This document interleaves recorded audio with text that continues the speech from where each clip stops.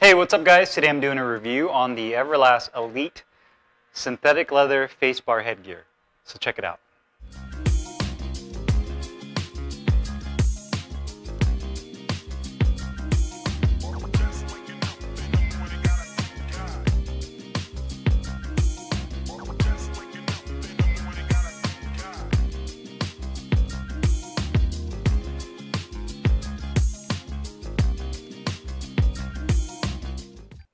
Hey, what's up guys? Carlo here, and today I'm doing a review on the Everlast Elite synthetic leather face bar headgear. This retails for $69 on the Everlast website. It comes in this one colorway, which is the traditional black and yellow that you see on a majority of Everlast products.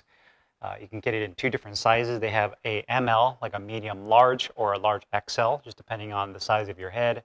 Uh, and the headgear is made in China. Now, I've been wanting to try this face saver for a while now, uh, mainly because I've tried uh, the Elite uh, boxing gloves, uh, both the entry-level ones and uh, the higher-end ones that I believe are $129. They also have um, the Elite tie-style gloves, which are actually my favorite out of all of the Elite uh, model lineup, which I was really impressed with. I did a review of those last year during the middle of the height of the pandemic, and I was really impressed with those. So it only came natural for me to want to try out this uh, face saver headgear, and I came away with being really disappointed with this thing. And uh, to be honest with you guys, I only used this headgear for two rounds, and I had to take it off because what ended up happening was this nose, uh, the nose bar right here, uh, ended up jamming into my nose uh, several times to the point where it was so frustrating that I just took the headgear off and stopped using it altogether.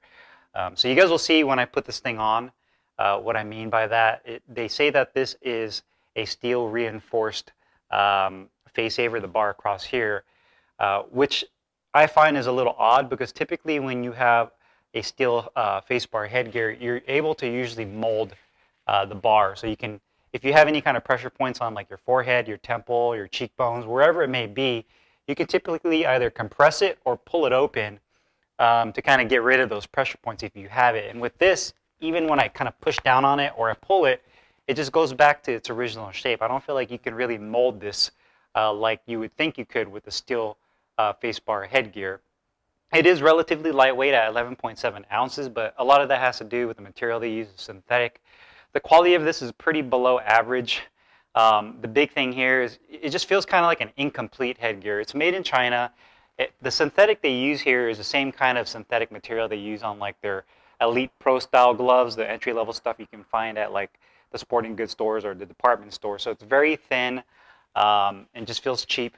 Uh, the padding on the forehead and the temple area is definitely nice and firm. They use multi-layer foam padding, is which they describe it as. You have the Everlast logo on each side of the temple right there.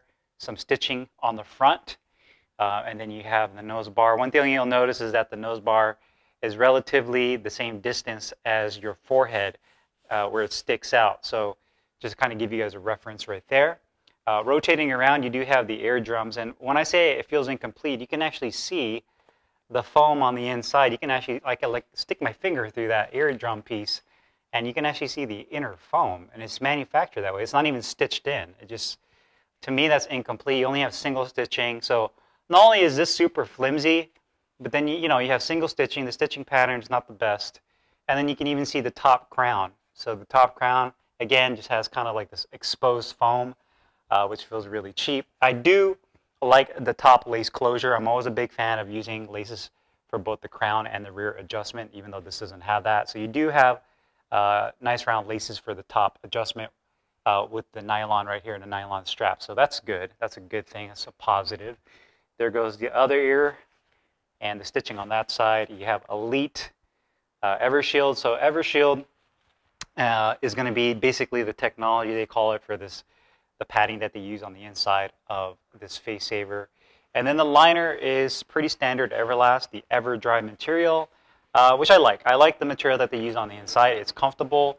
It does a good job of kind of gripping to your face, and it does a good job of of uh, a good job, a good job, excuse me, of drying out. So after, obviously, after you're done sparring, you're going to be super sweaty, and the inside of the headgear gets pretty sweaty. I do like this compared to like the suede type material because the suede material tends to just retain moisture, where this does a better job uh, of drying out. So I do like that.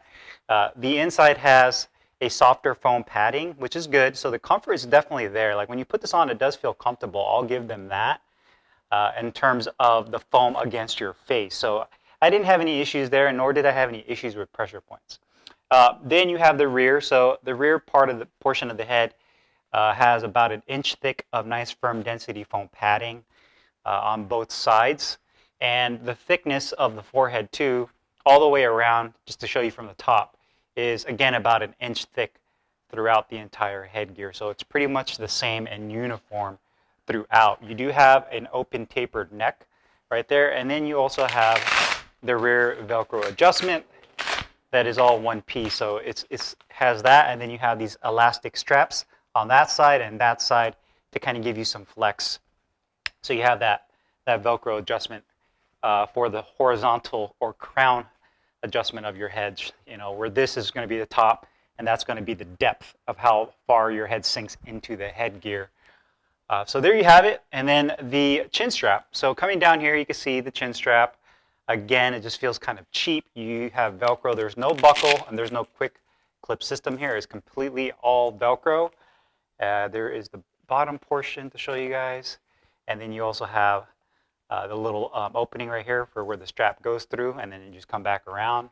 Nothing too crazy there in terms of technology uh, with that. So again, just feels kind of cheap. You can see that the way they cut the synthetic is just looks like it's very rushed um, and that they didn't really take much time or attention to detail when they put this together. So I'm going to go ahead and put this on so show you guys how this thing fits on my head. Okay. So putting it on, I'll show you guys a chin strap as well. So you have to open this portion up. This just goes right through the hole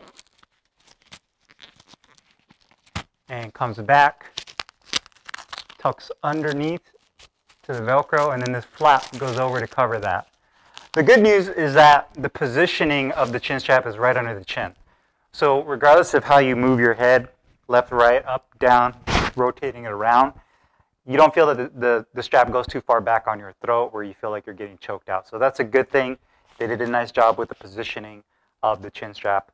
Um, the visibility is actually pretty good for a face saver headgear. I have good um, lateral side-to-side -side vision. I can see up and down pretty well for a face saver. Again, a face saver is never going to be good, in my opinion, as a standard open face headgear or a cheek style protector just because you have this large bar that's blocking your peripheral vision. Now, the biggest issue, aside from the quality with this headgear, is going to be the nose bar. Now, the issue I've had with this, regardless of the position, and I got the correct size for my head, is that when you take a straight punch on, you literally, your nose is literally touching against the inside of this face bar. So the minute you get punched straight on into the face, this bar jams right into your nose. And I went two rounds with this headgear, and I took a couple shots in the nose, and I was just like, you know what? Screw this. I took this headgear off when I put my regular um, open face headgear back on, and I continued to spar. Um, but it just was such a pain to use and a nuisance. The fact that I kept getting hit in the nose over and over, to me, it takes away the entire point of having this face saver. If this thing is going to act as like a protruding nose. And that's my best analogy for this face saver, or really any face saver, is the fact that, yes, it's supposed to be here to, to basically stop any kind of punches to land physically on your nose or touch your eyes, if you want to call it. But what ends up happening a lot of times with these face savers is it actually extends the target for your sparring partner to hit. So now when they punch you in the face, they have this gigantic bar right here where they can literally touch you on any portion of this and you'll feel it the vibration and the concussive force of the punch. Regardless if you get punched right on the middle, to the side, like at an angle, with a hook, or even worse, an uppercut. So even if they aren't accurate, they can just barely nick underneath right here with an uppercut. And what that's going to do, because the chin strap is on, and this thing is tied on your head, it's going to lift your head up. And when your head is lifted up, guess what's blocking your vision? Your, this bar right here. So by the time, that split second, by the time you, you come back down to see what's going on, he might be throwing a straight right and going for the kill shot. So he might hit you with the uppercut, boom. by the time that split second's going and he comes to throw that straight right, boom, you're taking a shot again. So to me, you know, with all face savers, not just this one, that's the biggest issue. But with this one, it actually touches your nose. Coming to the side here, you can see that the ears are pretty good as far as the ergonomics and the placement of the ears. Um, I feel that, again, this feels really cheap here. The other issue is the fact that, yes, you have padding around the ear canal opening, but it's there's really nothing right here. There should be maybe like a bar or something to protect your inner eardrum from taking a hit and preventing any kind of like popping of a blood vessel inside your ear. And that's why you see a lot of like uh, mixed martial art fighters that have those cauliflower ears is because they take a lot of hit uh, uh, to the side. Um, going towards the back, the pad on the feel, uh, the back feels really good. The tapered neck feels good. I have good amount of rotation there. Uh, it feels really nice as well, so I do like that. Coming to the left side, everything feels good right there. Uh, the, the thing that sucks about this headgear a, is the fact that it is comfortable. Not sucks, but what I mean by that is it feels comfortable, but it has too many flaws that offsets that that makes you not want to use it. You know, a lot of headgears will have these pressure points. It feels like you're wearing a brick on your head. With this one, it's actually pretty comfortable. Like the padding on the inside feels good against my head. I don't have any issues with my temples or my forehead, my forehead hurting.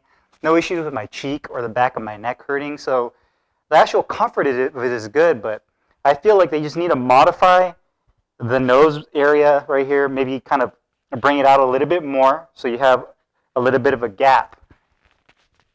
And this is the way it's supposed to sit. Typically, headgears are supposed to sit a little angled, so when you take a shot, it comes down and tucks underneath your nose. It doesn't go just right into your nose. And then up the quality a little bit. Even if it is a synthetic version and a cheaper entry-level version, do a little bit better with the, the eardrums. You know, seal off the areas where the foam is exposed. You know, maybe put a little quick clip right here. Put a little bit more. Give the customers a little bit more of what they're asking for, uh, rather than kind of cheaping out and just kind of throwing this headgear together. Uh, but that's my thoughts on this. You know, for $69, um, regardless if you think it's worth it or not. I don't think it's worth it just, just for the fact that at, at the, I guess you can call it the base of what this headgear is supposed to do, the fundamental thing that it's supposed to do, which is protect your nose, it doesn't even do that. So that's the biggest issue with this face saver headgear, regardless of price, is that it doesn't save your face. So hopefully Everlast can do better, both in, in terms of quality and making a headgear that actually performs and does what it's supposed to do. Um, and that's my thoughts on this. So if you guys have any questions or comments, make sure you guys leave them down below in the comments box. I'll put the link in the description box where you can find this Everlast Elite nose bar headgear. I'll see you guys later. Take care.